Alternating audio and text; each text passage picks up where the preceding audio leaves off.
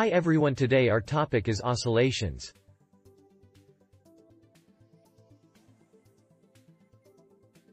A type of motion in which a body moves to and fro about its mean position.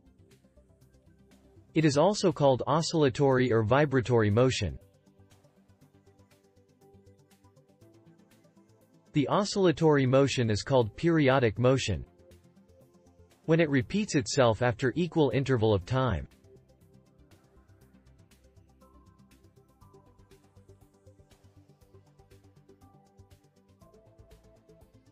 Examples of oscillatory motion are mass attached to spring, simple pendulum, steel ball rolling in a china dish. It is observed that the vibrating bodies produce waves. For example, when a guitar string is plucked, the string oscillates up and down in periodic motion. Dot. The vibrating string caused the surrounding air molecules to oscillate, producing sound waves. Simple harmonic motion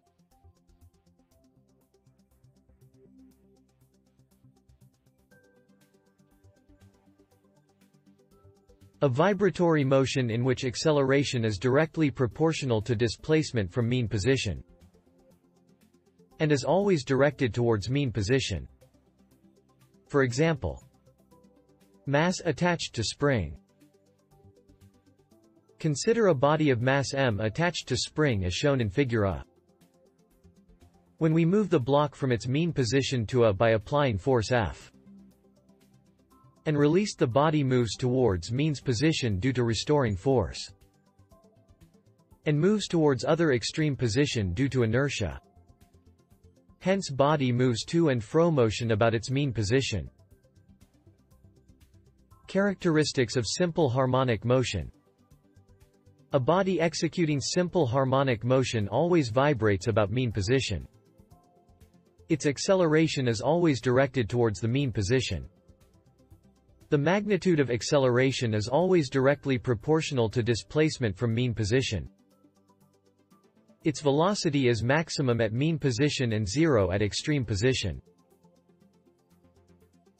Time period of simple harmonic motion is given by t is equal to 2 pi under root m by k, where t is the time period of simple pendulum, m is the mass attached to spring, k is the spring constant its value depends on nature of spring. Other characteristics of simple harmonic motion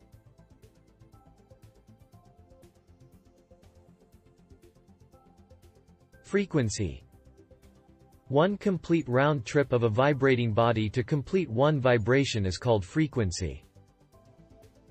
Mathematically, frequency is equal to 1 over time period.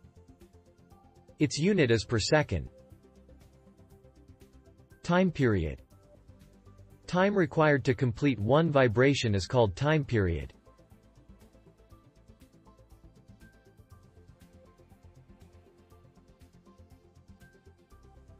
Frequency The number of vibrations of a vibrating body in one second is called frequency.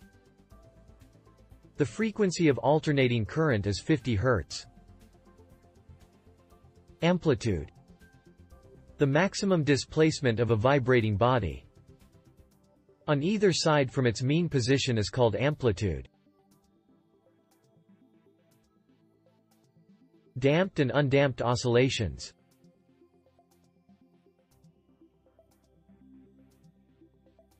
Damped oscillations Such oscillations in which amplitude of resulting body decreases with time. For example, Shock absorber of car. Undamped oscillations.